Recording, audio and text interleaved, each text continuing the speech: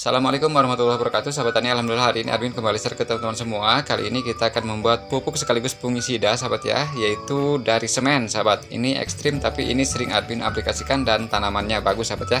Kita siapkan wadah Ini kita bikin satu toples aja sahabat ya. Oke sahabat Tani selanjutnya kita siapkan kain sebagai penutupnya sahabat ya Dan juga karet sebagai pengikatnya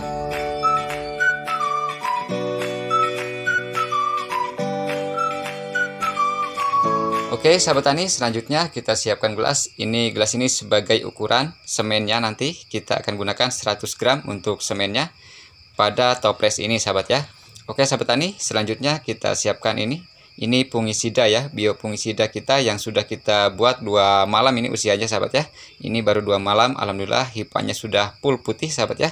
Ini full gliocladium sp sahabat Alhamdulillah dua malam sudah bagus. Perkembangannya sudah mulai agak hijau juga ini. Gliocladium sp kita sahabat ya. Oh ya sahabat tani untuk airnya kita gunakan air yang di sini ini. Kita gunakan satu toples ini. Ini airnya menggunakan air yang di sini ini air hujan. Alasan kenapa admin menggunakan semen? Kita gunakan semen ini sebagai pupuk sahabat ya. Ini pengganti fosfat ataupun kalsium ataupun silika sahabat ya.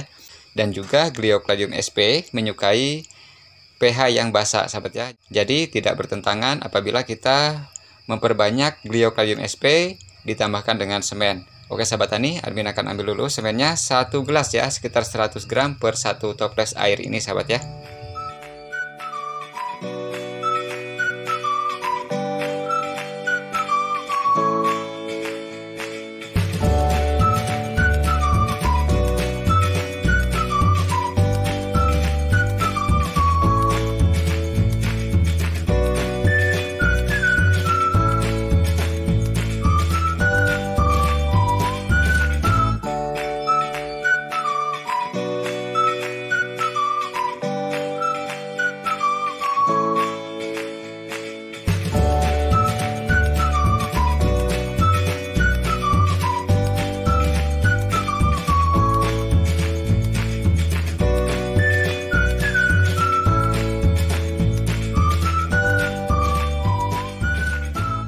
Oke sahabat tani, untuk airnya kita menggunakan air hujan ya, sekitar 2 liter dalam toples ini.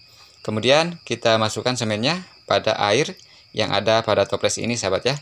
Jangan lupa diaduk sahabat ya, supaya semennya tidak mengendap. Oke sahabat tani, ini sudah admin sering lakukan ya, apabila membuat pupuk dari semen seperti ini.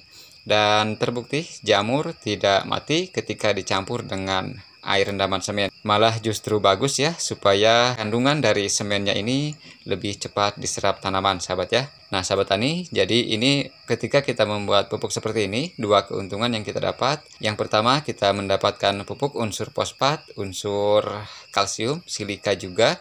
Yang kemudian kita juga mendapatkan fungisida yaitu biofungisida dari Gliocladium sp sahabat ya Nah, sahabat tani untuk fermentasinya ini sama seperti fermentasi jamur ya. Ini kita fermentasi selama empat hari sahabat ya. Karena jamur sesungguhnya empat hari sudah bisa diaplikasikan sahabat ya. Oke sahabat tani mungkin teman-teman ada yang keberatan menggunakan semen seperti ini. Oke nggak apa-apa ya. Nggak usah pakai semen. Teman-teman cukup rendam Gliocladium sp ini dengan air kelapa plus gula merah sahabat ya. Itu cara membuat IMO 2 sahabat ya. Oke sahabat tani selanjutnya fermentasi selama empat hari minimal sahabat ya. Usahakan sih kalau untuk gliocalcium sp ini dikocor aja sahabat ya. Tapi kalau untuk dispray juga nggak apa-apa. Tapi pakai masker ya saat aplikasi supaya aman di kita ya. Karena gliocalcium sp itu seperti trichoderma ya. Bisa juga mengganggu pernapasan. Oke sahabat tani seperti itu anjuran dari Maman Adaja Channel. Usahakan aplikasinya dikocor aja ya. Karena ini ada biofungisidanya.